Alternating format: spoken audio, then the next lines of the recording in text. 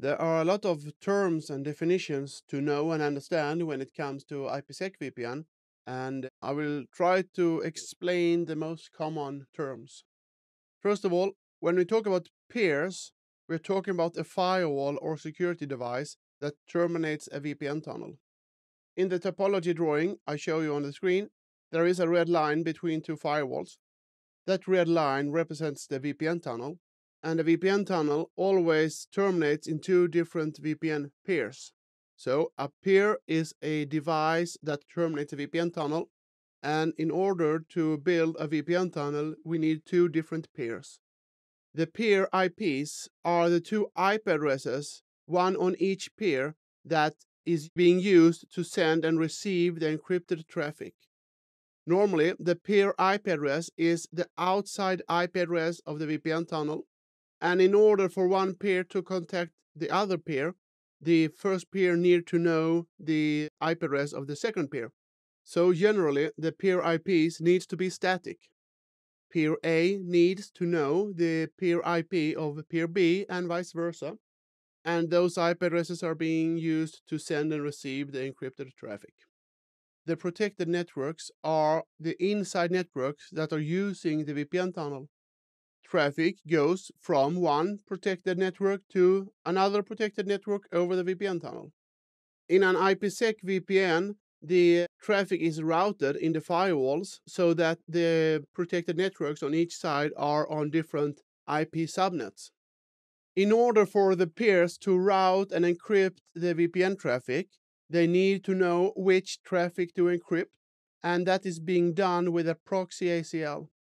The proxy ACL is an access list in each peer that contains the definition of which local protected networks and which remote protected networks that should be encrypted. So the proxy ACL is the actual definition of which traffic to send over the tunnel. When we build an IPsec tunnel, we configure something called a cryptomap. The cryptomap is the actual configuration of the tunnel and the cryptomap is always applied to the outside IP address of the VPN tunnel. So if we look at the topology on the screen, each firewall has at least two interfaces where the inside interface is connected to our protected networks and the outside interface is connected to internet. And in this case, the cryptomap is applied on the outside IP address the cryptomap is configured in each firewall and applied on the same IP address as the local peer IP. And the cryptomap is actually a set of commands in the configuration that ties all settings together to build and define the VPN tunnel. And in the coming videos in this chapter, we will look at how to configure the cryptomap. When the VPN tunnel is set up, it is being done in two different phases. First is phase 1 set up and after that phase 2. And if phase 1 fails to be set up, there will be no setup of phase 2. So they come after each other. Phase 1 is sometimes called ISAKMP or IKE. IKE is a protocol being used to set up the first phase, the initial phase of the VPN tunnel. And the IKE phase is sometimes also called the ISAKMP phase. That's the protocol being used and ISAKMP and IKE is being used as different terms interchangeable of each other in this course because they are more or less the same thing. So when I talk about phase one, I'm talking about the IKE phase, the ISAKMP phase. After phase one is successfully set up, there is a phase two setup. Phase two is also called the IPsec phase. The IPsec phase is where we set up how to encrypt the actual traffic sent in the tunnel. So phase one comes first, and in phase one, there is an initial setup of encryption methods and protection methods being used to protect the phase two setup. And in phase two, there is a handshake and a negotiation to set up parameters to use to encrypt the actual tunnel. And I will soon show you how to configure phase one and phase two. The final term to know is SA. SA is an acronym that stands for Security Association, and in each firewall, when the tunnel is up and running, it is being shown with show commands as a security association. So an security association is a tunnel that is set up and we will see how it looks like later on in the course when we look at the show commands. SA is security association. So how will an IPsec tunnel be set up?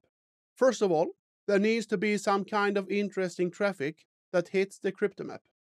That means that on our peer, if we see ourselves as an administrator of one of the peers in a VPN tunnel called the local peer, we have traffic coming from our inside networks that is defined in the list of interesting traffic, the proxy ACL. And that interesting traffic needs to be routed in the firewall so that it hits the outside interface where the crypto map is applied. When the crypto map is applied on an interface and there comes traffic that matches the definition of interesting traffic, the firewall tries to initiate the VPN tunnel. First thing that happens is that phase one is being set up, the ISAKMP phase. And the first thing that happens in the phase one setup is the negotiation of the ISAKMP policy. The ISAKMP policy contains a combination of different protocols and settings and these policies needs to be matched on both sides in both peers and the first thing that happens is that the two peers try to negotiate the ISAKMP policy that should be used for phase one. If that is successful, next step is to change keys using a protocol called Diffie-Hellman. To protect the traffic in the tunnel, the peers need to have a encryption key that both parties know. And the Diffie-Hellman key exchange protocol is a method for two devices to negotiate on a common shared key without sending it in clear text over the line. And in this case, the Diffie-Hellman key exchange protocol is being used to negotiate on a encryption key that should be used for the tunnel. Last part of phase one is to verify the peer identity. When two firewalls connect to each other, they need to know that the other party is really who they say that they are. So we need to verify their identity, and that is being done normally with some kind of pre-shared key. There are other ways to do that, but the most common way of peer identification is to use a pre-shared key. That pre-shared key is not an encryption key, it's an identification key. And that is being used in the third part of phase one to verify that the two firewalls know that they talk to the correct other end. When phase one is up, there is an ISAKMP SA established, and we can use show command to see if phase one is up. And we do that by using the command show crypto ISAKMP SA. I will show you that later on. If and only if phase one is successfully being set up, the devices will continue with phase two in phase two, there is a IPsec policy. It's a set of parameters that needs to be negotiated between the two firewalls. And if they can negotiate on an IPsec policy, the IPsec SA are established. And we can see the established IPsec SH with show commands as well, which I will show you soon. After phase one is up and phase two is up, there will be uh, traffic sent in the VPN tunnel. This is where our protected networks actually communicate with each other in a protected way.